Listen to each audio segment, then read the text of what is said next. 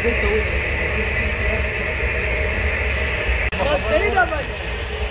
څه خبره نه یې مانا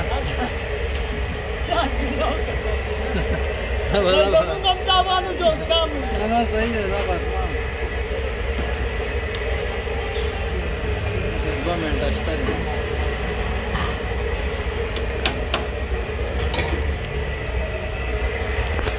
दीजिए ना पनीर नहीं कर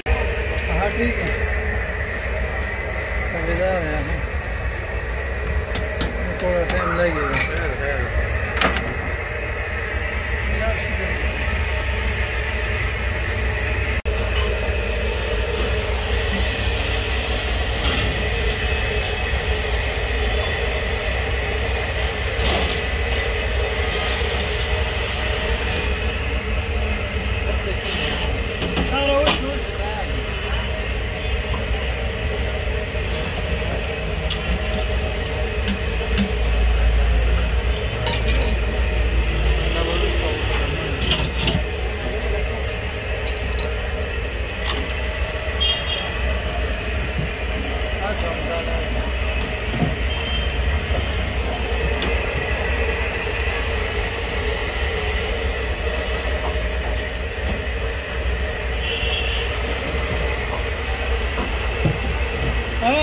को यो हो जाता है चले ना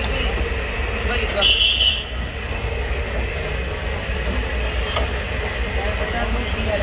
आओ भाई शापर